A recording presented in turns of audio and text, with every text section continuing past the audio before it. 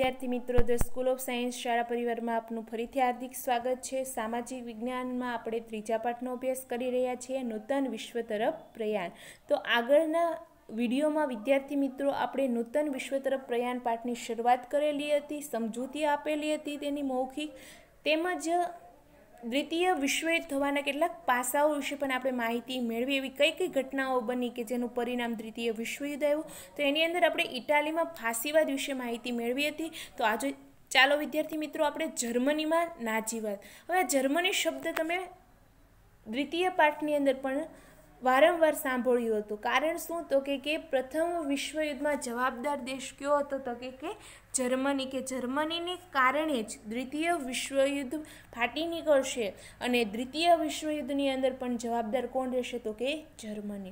હવે પ્રથમ વિશ્વયુદ્ધની અંદર જર્મની ધરી રાષ્ટ્રોની સાથે હતું અને યુદ્ધ લડ્યું હતું.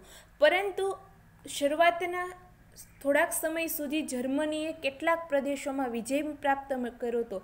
પરંતુ જેવું જ પ્રથમ વિશ્વયુદ્ધની અંદર અમેરિકા જોડાણું એટલે જર્મનીની સેના અમેરિકન સેના સામે ટકી શકી નહીં. અને જર્મન કેસર વિલિયમ બીજો જેનો રાજા હતો, શાસક હતો, એને ગાદી છોડવી પડી અને જર્મનીએ પ્રથમ વિશ્વયુદ્ધમાં હાર સ્વીકારી.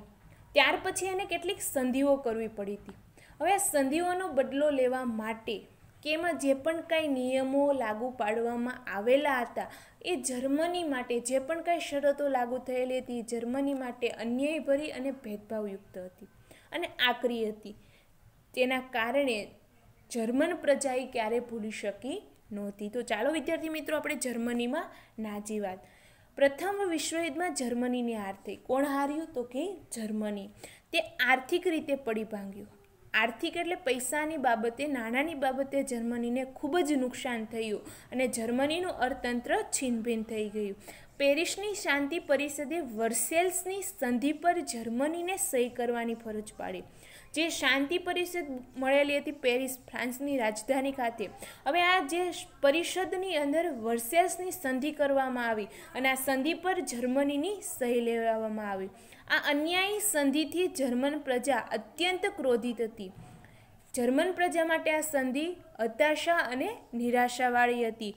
એડોલ્ફ હિટલર રાષ્ટ્રીય સમાજવાદી જર્મન કામદાર પક્ષમાં જોડાયો.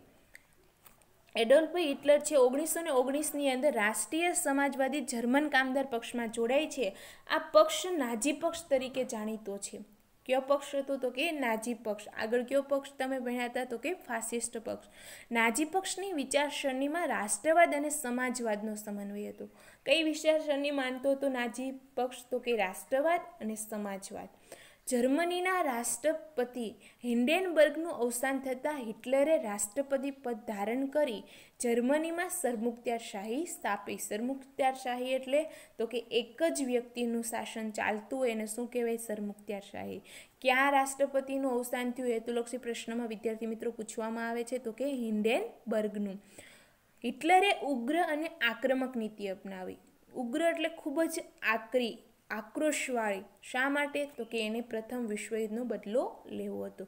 જર્મન પ્રજાને સંકુચિત રાષ્ટ્રવાદ તરફ દોરી. રાષ્ટ્રવાદ સારો, પણ જ્યારે રાષ્ટ્રવાદ સાંકડું સ્વરૂપ ધારણ કરે, ત્યારે દેશ માટે હંમેશા શું હોય? વિશ્વ માટે ખતરારૂપ હોય. જર્મન પ્રજા હિટલરને ફ્યુઅરન માનતી હતી. શું કહેતી હતી અને તારણહાર. ખાસ વિદ્યાર્થી મિત્રો, યાદ રાખજો, જર્મન પ્રજા હિટલરને શું માનતી હતી? તો કે ફ્યુઅરન નાજીવાદના સૈનિકો ભૂરા રંગનો લશ્કરી પોશાક પહેરતા. કેવો પોશાક હતો? ભૂરા રંગનો. આગળ ફાસિસ્ટ પક્ષનો આવ્યો હતો તો કે એનો કેવો હતો? કાળા રંગનો. અને ખંભા પર લાલ રંગની પટ્ટી ચોંટાડતા અને સ્વસ્તિક જેવું પ્રતીક લગાવતા હતા. શું એનું પ્રતીક હતું તો કે સ્વસ્તિક? સત્તા પર આવ્યા પછી હિટલરનું એક હતું સત્તાવાદી અને યુદ્ધપ્રિય સ્વભાવ સ્પષ્ટપણે જોવા મળતો હતો. હિટલરના હાથમાં એક હતું શાસન, આવી ગયું.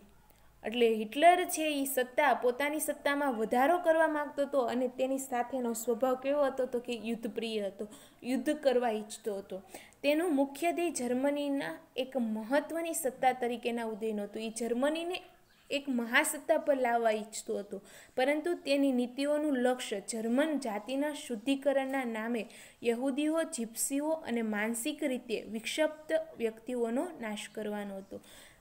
જર્મનીની અંદર જે નાજી સૈનિકો હતી, એને લોકોની અંદર એવી વિચારસરણી રાખી કે પ્રથમ વિશ્વયુદ્ધની અંદર હાર થઈ, તો કયા ધર્મના લોકોને કારણે? તો કે યહૂદીઓ અને જીપ્સીઓ.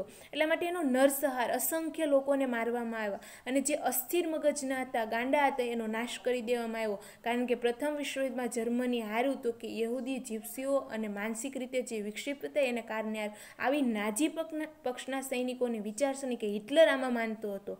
બીજા વિશ્વયુદ્ધના અંત સુધીમાં અસંખ્ય યુરોપિયન યહૂદીઓએ જીવ ખોયા. હજારો યહૂદીઓ મર્યા. કારણ શું? તો કે એને દેશમાં તેનો નિકાલ કરવામાં આવતો, જે હોલોકાસ્ટ તરીકે ઓળખાય છે, નરસહાર. શું કહેવામાં આવે છે ને હોલોકાસ્ટ. કોનો નરસહાર કર્યો? તો કે યહૂદીઓ, જીપ્સીઓ અને માનસિક રીતે વિક્ષિપ હતા એ લોકોને. હિટલરનો વિસ્તારવાદ પડોશી દેશો સાથેના લશ્કરી પગલાં અને ચોક્કસ જૂથોનો નાશ કરવાની નીતિ બીજા વિશ્વયુદ્ધ તરફ દોરી જતા ખૂબ મહત્ત્વના કારણો બન્યા. કે હિટલર છે વિસ્તારવાદમાં માનતો હતો કે જેમ બને એમ જર્મનીનો વિસ્તાર વધવો જોઈએ.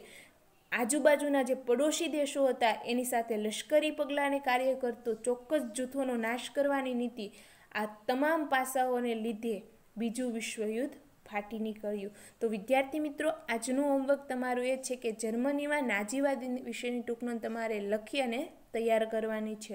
અને સાથે જે પણ કાંઈ હેતુલક્ષી પ્રશ્ન સમજાવ્યા છે, એનું પણ રિવિઝન કરી અને પાકા કરવાના છે. તો અસ્તુ, જય હિન્દ, જય ભારત.